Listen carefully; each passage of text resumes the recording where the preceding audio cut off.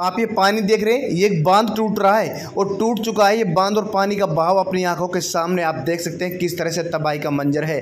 इस बाँध के टूटने से गाँव के गाँव तबाह हो गए जी हाँ दोस्तों, इस तरह का लगातार बारिश का दौर जारी है। ये बड़ी खबर इस वक्त की जो निकल कर आप ये बाँध देख रहे हैं, ये शिमला से आ रही है। जहाँ पर साथ ही एक बाँध इस तरह से टूटा है कि बुरी तरह से तबाही मची हुई है लगातार बारिश के दौर के चलते हुए। ये कुल्लू के मलाना डैम का संकट किस तरह से परसा है, अपनी आँखों के सामने आप ये रूप देख सकते सकते हैं। लगातार हो रही बारिश के चलते हुए कई कई गाँव साथियों तबाह हो चुके हैं। इस डैम के टूटने से बुरी तरह से तबाही और बाढ़ जैसे हालात हो गए हैं। वहीं पर ही देश के साथियों, बाईस राज्यों में इस तरह से तबाही मची हुई है। लगातार बारिश का दौर जारी है।